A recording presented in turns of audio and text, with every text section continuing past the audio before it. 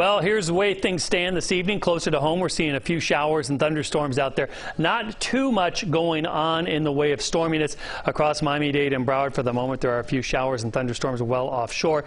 That activity is moving to the northwest. But I think as we go through the night here, we'll see our traditional late night and morning storms popping up, coming up through the Keys and through Miami-Dade and Broward once again, similar to what we saw today. So storms are a good likelihood tomorrow. In fact, much of the rest of the week.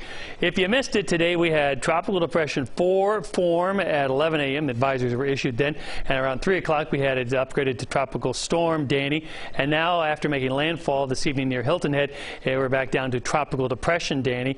Fourth named storm, typically it's uh, mid-August before we get to our fourth named storm, uh, the D letter in the season. So we're running well above that. 2012, 2016, and 2020, the last uh, three seasons where we had the D storm this early in the season. 35 mile an hour winds now. Uh, what's left of Danny is just going to be kind of a rainmaker as it moves on to the northwest here through parts of Georgia and the Carolinas. In terms of what we're looking at, also, there's Danny first off right up there, but this tropical system out there. It's a tropical wave or disturbance that's crossing the Atlantic. And this area here is the next five day development potential, with the highest potential being right here in parts of the Caribbean.